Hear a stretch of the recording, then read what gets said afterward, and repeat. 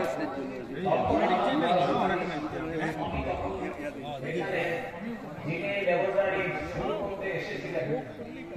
সিংহ একটি সাংস্কৃতিক কোম্পানি তিনি আমাকে বললেন চলো যাচ্ছি বেরিয়ে আসি তখনকার রাস্তাঘাট ঠিক ছিল না কোম্পানি একটা ভেসপাত স্কুটার দিয়েছিল আমি কিন্তু ওই প্রথম থেকে গাড়ি স্কুটার চালানো গাড়ি চালানো শিখেছিলাম যখন আমাদের সাহিত্য কবি হারিয়েছিল